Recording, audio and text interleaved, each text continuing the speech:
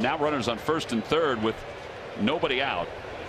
Chopper back toward the middle. That's going to get a run home. Tejada scoops it up, throws to first. It's an RBI and a ground out as Byrd crosses the plate. It's 3 1 Phillies on top. Now that is a good out.